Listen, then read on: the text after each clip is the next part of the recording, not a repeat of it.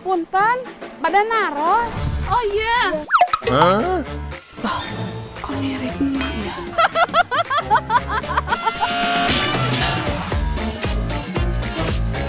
Makan lagi goreng ya, kenapa dia bakar?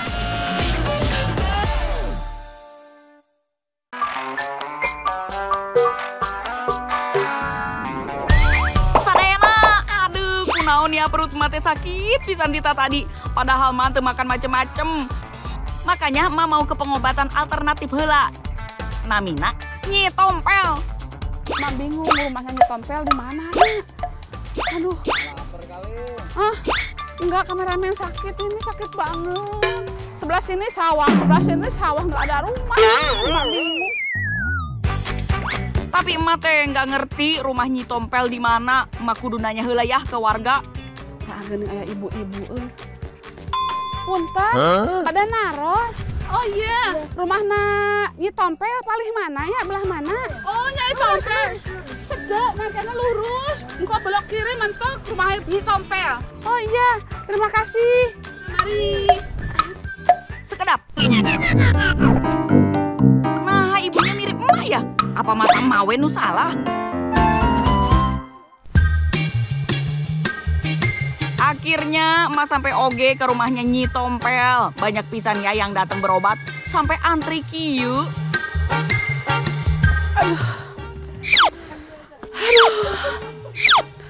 Aduh, permisi.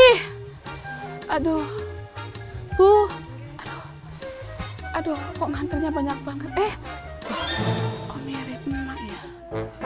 Kok mirip emak lagi? Tadi di sana mirip emak. Silver, nu nyari ya? Hah? Gak tahu. Apa malah yang dibagi-bagi? Ayo, tamu berikutnya. Mahalanya. Aduh, aduh, mak, mak teu kuat, mak kuat yeuh, jadi pisan mah ieu nya. Maheula pokokna maheula, maheula. Ah. Keun welanya, pokoknya emak heula nu kudu masuk. Udah jauh-jauh masa kudu nunggu deui. Teu tahan ieu.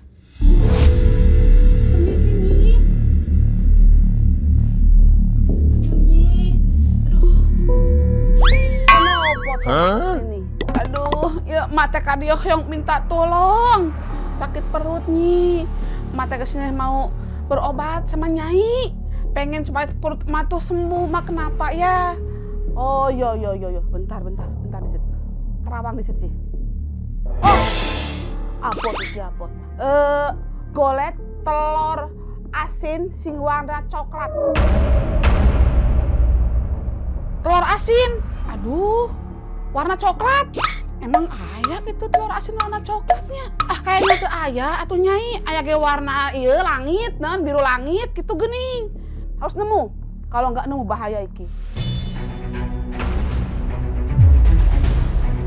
Aduh, kudu milarian atuh emaknya.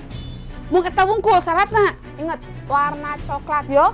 Oh, muhun atuh nyai. Terima kasih, emak sekarang mau nyari. Wis. Nanti kalau udah nemu, balik lagi sini. Ya. Aduh, makasih nyai. Aduh. Susah banget. Nog asin coklat emang ayah. Mak, telurnya biru, Mak. Emang ayah kameramen nog asin warna coklat. Aduh, pusing belum nyarinya ini. tahu tuh. Halo, sadayana, emak kaget. Nyi tompel asa mirip emak, cuman ayah tompelnya we di pipi. Udah gitu, emak disuruh cari telur asin nu warnana coklat. Kudu nyari di mana atuh? Bukannya. Mau ke mana, Mak? Ya, ayo kameramen. Ini udah nyampe. Mak mau ini mau beli telur. Ayo yang yang ini yang yang hitam coklat kuning hijau itu ya. Permisi Pak. Monggo. Pak. Pak betul di sini ada telur asin yang warnanya hitam coklat coklat gitu. ada, ada. iya. Ada Pak. Ada. Alhamdulillah kameramen. Ayah deh dia kameramen jadi emang nggak susah nyarinya. Niat baik mah pasti aya we jalana. Berkat informasi sana sini, emas sampai oge ke tempat pembuatan telur asin. Tapi telur asin di dia teh beda, aya nu warna coklat. Tah, ma mau belajar cara bikinnya. Pertama, telur kudu dicuci sampai bersih supaya pori-porinya terbuka. Selanjutnya telur dibalut dengan bata merah. Nu sudah dihancurin. Terus diberi air dan campuran lainnya sampai bentuknya seperti lumpur.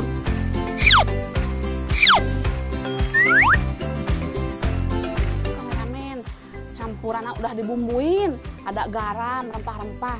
Yang terutama itu batu bata ya Pak ya. Pastikan semua bagian telurnya tertutup ya, lalu disimpan di tempat yang nggak boleh terkena cahaya matahari. Soalnya teh kalau kena panas yang berlebih bikin telur asinnya hitam dan busuk.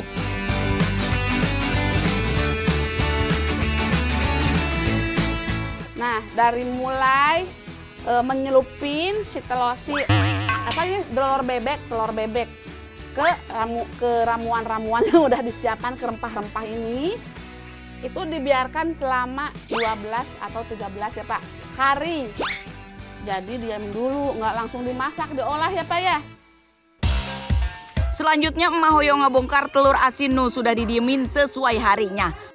Kudu hati-hati megangnya supaya terpecah.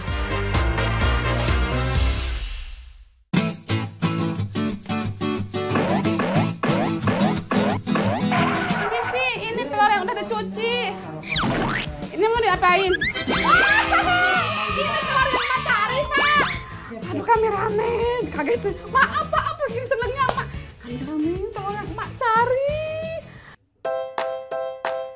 Elu elu sadayana, senang pisan emak. Soalnya ketemu oge telur asin nu dicari. Tah, coklat kan warnanya. Telur asin nu coklat iya namina telur asin asap. Cara peng- pengasapannya itu nggak gampang. Kita itu membutuhkan waktu yang lumayan lama. Nah, apa eh, dari narok telur yang biasa ini, narok telur yang ini itu sampai jadi seperti ini, itu dua hari dua malam ya Pak. 24 jam lebih ya Pak. Pengasapan iya dilakukan di dalam oven dengan suhu mencapai 80 derajat Celcius.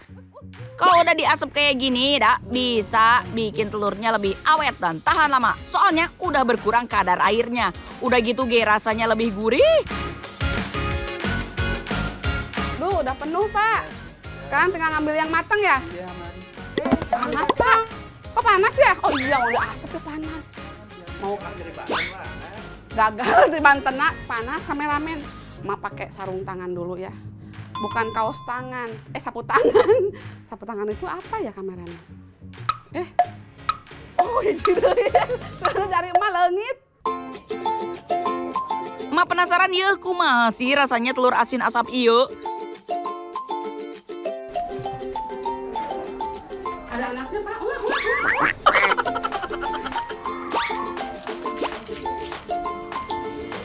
Wah, kok gini Pak? Bagus. Kayak apa? Kayak nuk asin. ya, Kan kering. iya Pak, ini kering nggak ada minyak-minyaknya ya Pak. bulan sebetulnya. Bismillahirrahmanirrahim. Pakai nasi ya. Kayak ini aja. Kurang banyak kata. Kurang banyak. Kameramen yang makan ya. Ah, Am. Itu masih ada. cantik banget ya Pak ya. Nah, terus rasanya pun Pak enak, nggak terlalu asin. Terus teksturnya juga kering banget ya Pak ya, kering, nggak ada minyak-minyaknya. Biasanya kan kalau direbus itu minyaknya lebih banyak ya Pak. Kalau ini kameramen lihat teksturnya, kering banget, cuma ada sedikit di, di telur yang kuningnya aja, ada minyak-minyaknya. Ih, eh, tapi enak. Ya udah tuh Pak, Pak. Kalau boleh itu buat ini apa-apa, buat stok emak obat. Ya, boleh. Iya Pak, boleh ya Pak ya? Ini terima kasih Pak. Asik, tinggali kameramen, emak dapat satu peti. Eh, satu peti, satu wadah telur. Ya udah ah, sekarang emak mau lanjutnya. Alhamdulillah emak dikasih telur asin coklatnya. Tapi iya mah enaknya dimasak wenya ku emak daripada dibawa deui ka Nyi tompel. Sadayana. Nih, sekarang emak bagian masak. Emak mau bikin obat, obat sakit perut alias buat ngobatin laparnya emak nih. Telur asapnya hoyong emak buat jadi saus telur asin atau nu kerennya salted egg. Bahannya ayah cabai merah, bawang putih, susu, lada bubuk, cabai bubuk, daun bawang, garam, kaldu jamur, margarin, dan pastinya ayah laukna nyaeta bebek. Nih kameramen, hari ini kali ini tuh emak masaknya nggak semuanya nih. Yang buat obat emak itu cuma telur kuningnya aja. Tuh. Kalau sudah terkumpul, telur kuningnya dihancurkan hela sampai halus. Sambil bawang putihnya dipotong kecil dan cabai merahnya diiris-iris. Setelah itu emak mau potong bebeknya jadi beberapa bagian. Besar kecilnya mah terserah. Sesuai selera. No pasti biar lebih mudah dimakannya. Nih kameramen, emak seneng banget. Lihat, emak masaknya itu di mana? Lihat, no, di belakang air terjun. Aduh, seliwir-seliwir. Dingin ya, Neng, ya? Nanti lah habis masak mau mandi. Mandi, Neng, yuk. Yuk. Kayak bidadari turun dari kayangan. Oh, bukan. Selanjutnya, emak rebus bebeknya hela nu dicampur dengan bumbu ungkep atau bumbu kuning. Kurang lebih 30 menit. Kalau sudah direbus, bebek digoreng deh biar krenyes-krenyes. Sambil si teteh buat adonan saus telur asinnya. Campur kuning telur asin, nu sudah dihancurkan dengan susu, aduk sampai merata. Susu iya teh bisa bikin saus telur asinnya lebih creamy atau kental.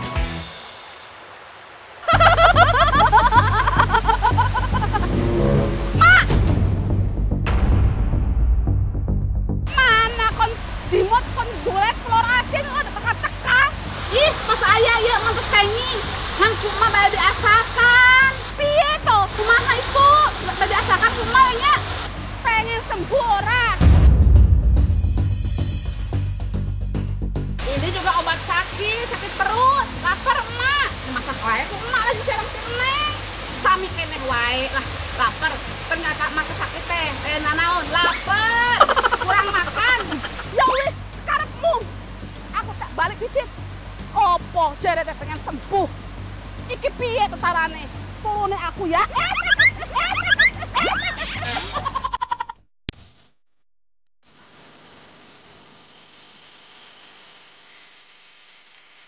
Sekarang saatnya bikin saus telur asin matangnya. Tumis bawang putih lalu masukkan adonan saus telur asin. Irisan cabai dan daun bawang, kaldu jamur, lada bubuk dan cabai bubuk. Aduk sampai mengental. Tada, jadi deh. Penyajian saus telur asinnya bisa langsung dicampur dengan lauk atau diguyur ke lauk. Kalau masih lebih suka diguyur kayak gini.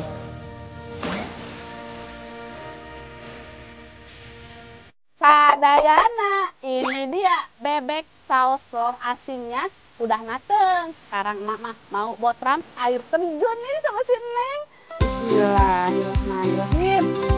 Oh iya Sadayana, saus telur asin koskieu rasanya khas pisan. Segala jenis lauk pauk bisa dibalut dengan saus telur asin.